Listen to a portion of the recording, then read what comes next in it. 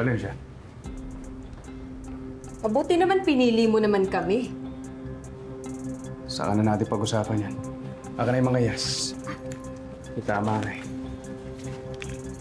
Kailangan na natin makaalis dito. Baka maabutan pa tayo ng Moxie. See? Effective yung diskarte ko.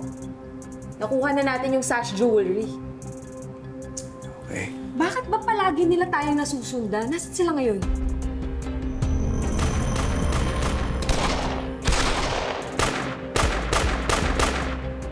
Kayo magtakot, tutulogin ko kayo! Sa ngayon, nakikipagbari lang sila kay Riker siya kay Kenzo. Sige na. Sandali, saan ka pupunta? Tutulungan ko sila. Onyx, kaya na nila yung mga sarili nila. Ang importante, hindi maagaw sa atin yan. Mas importante sa akin si Kenzo at si Riker. Hindi ko sila pwede pabayaan.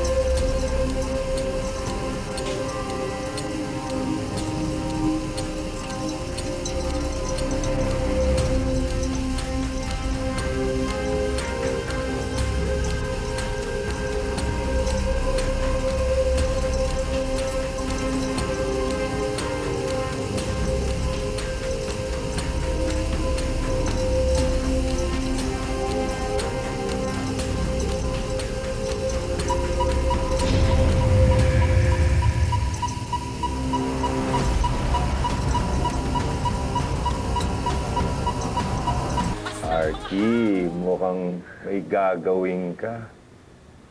Arky, oh, maduling ka na dyan sa katititig mo. Sorry po, hindi po kasi ako mapakali. eh.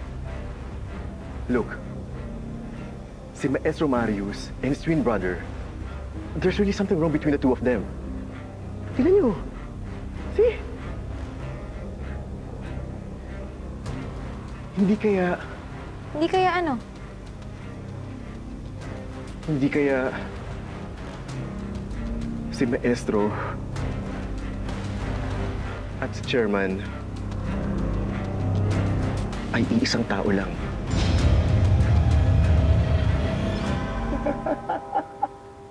Sorry. Granted. Arky, bakit naman gugustuhin hatiin ni Maestro ang sarili niya sa dalawa, Ber? Well, Tok, yun yung kailangan natin malaman. Kaya hindi tayo dapat tumigil hanggang di natin nakukumpirma yung mga kutob natin. Okay? May lumalabas.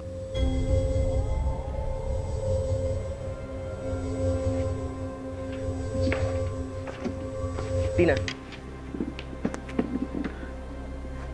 Let me have it. Tungkol ito sa isang malaking selebrasyon mula nang nabawi ni Hara Urduha ang mga hiyas mula kay Kublun at sa mga mandirigma nito.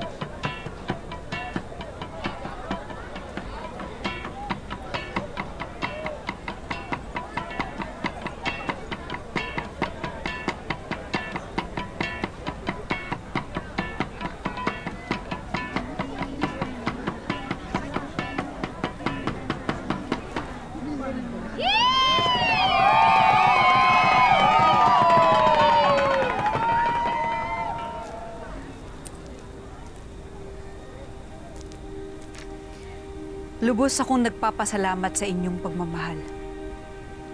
Hindi lang sa akin, kundi pati sa ating maharlikang Lipi.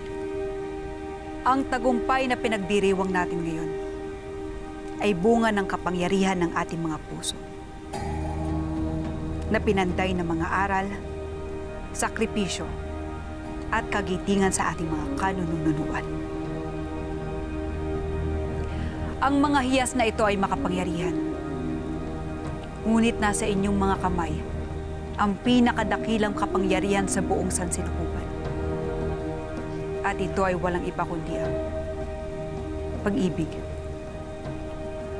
At kapag namayani ang kapangyarihan ng pagmamahal sa pagmamahal sa kapangyarihan, matutuklasan ng buong daigdig ang daan sa tunay na kapayapaan. Taos pusong pasasalamat sa inyong lahat. Mabuhay ang tawalisi!